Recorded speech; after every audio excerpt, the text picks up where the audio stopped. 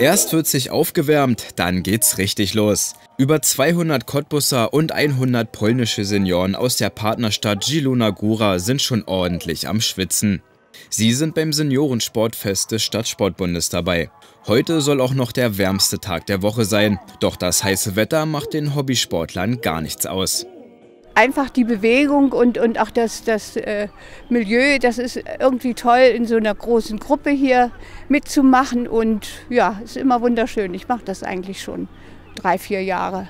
Weil es einfach schön ist, in Gemeinschaft Sport zu treiben und das heiße Wetter. Bei der guten Versorgung mit Wasser und mit allem drum und dran schaffen wir das alle mal. Ich war äh, interessiert, also ich wollte mal wissen, was hier los ist, weil ich von Drewitz komme und denke, mit, mit Fahrrad herkommen, was hier los ist. Das ist schön, also gefällt mir.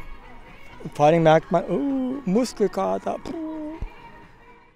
Über 20 Stationen können die Senioren absolvieren. Bei der Wärme wird alle acht Minuten eine Pause gemacht und gewechselt.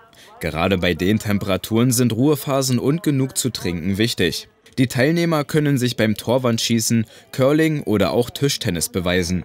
Jeder kann dabei sein, egal ob man regelmäßig im Verein Sport macht oder nur so vorbeischaut.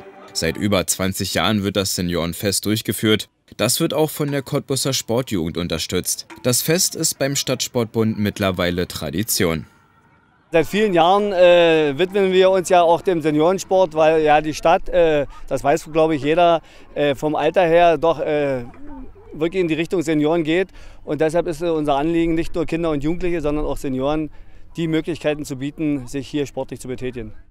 Ganze zwei Stunden trainieren die Senioren hier für ihre Fitness. Im nächsten Jahr können sie wieder beim Sportfest ihre Leistungen testen. Doch der Spaß sollte trotzdem im Vordergrund stehen.